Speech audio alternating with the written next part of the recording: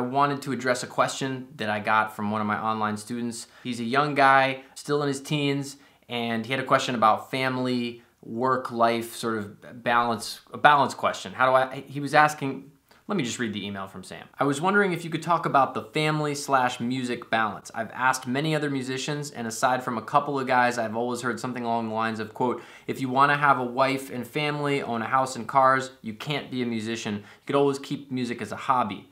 And then he goes on to say, I remember you, meaning me, uh, saying it's not a case of it being impossible, just a case of it being impossible for them, meaning the people who tell you that. I've been raised to value a family, and in time I want my own, but I want to still have my musical pursuits as my profession, which is what I want more than anything career wise. But I don't want to be selfish in that my spouse and future family will be in jeopardy because I don't want to stop playing. Okay, there's a lot in there, and um, I want to address it, but I'm also trying to set up my studio, so I'm gonna kind of like discuss this as as I unpack. Check out this clip.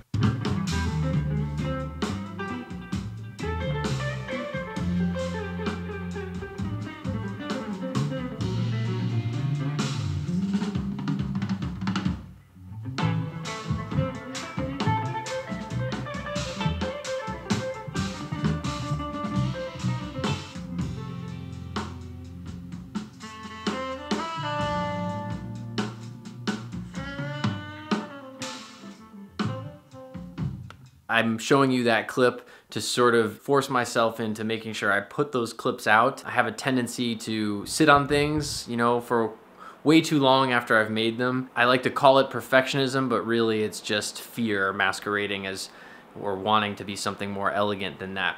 Anyway, um, on to Sam's question. I'm gonna try to answer this while I unpack because I gotta get this studio together. It's taking way too long. I was wondering if you could talk about the family slash music balance. If I have any balance now, and I try my best, you know,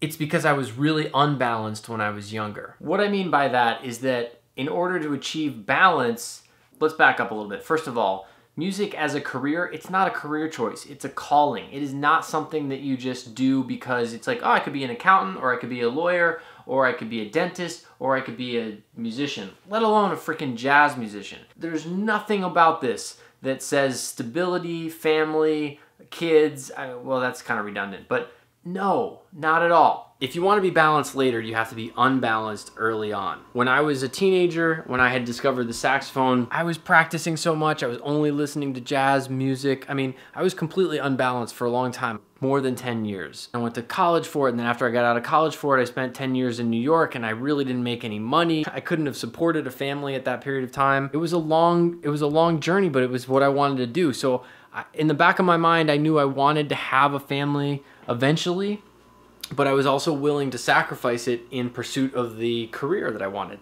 Now, the version of me now that has the family thinks that's insane because I now have the family.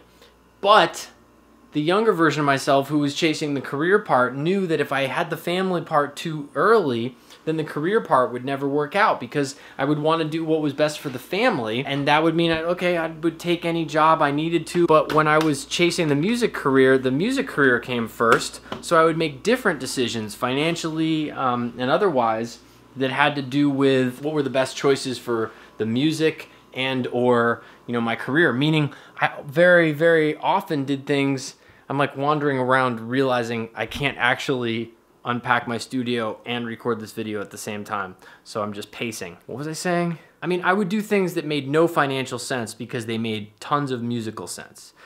And if I, looking back on it, if I hadn't done those things, if I hadn't made those choices, then I, they would not have led to the other things musically and otherwise that led to the career, to my career starting to build and work, you know, which eventually led to me being able to have the family and then work on the balance part. You know what I mean? The next part of this, I'll save this for a different video, is a much broader and, and maybe more important topic, which is how do you balance practicing and fitting in music in your life, whether it's with a job and family, whatever, no matter what you do, because look, anybody who is watching this right now surely cares enough about their instrument, about their craft, about what they do, that regardless of how they earn their entire living, they face the challenge of trying to balance their work, their family and social life, and their music.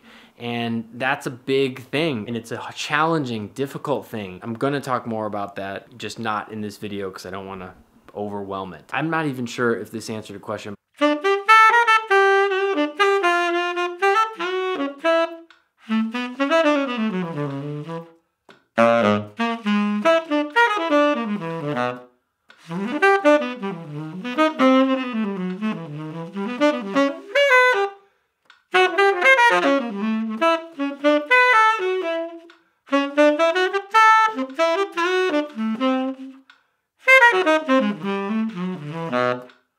Um...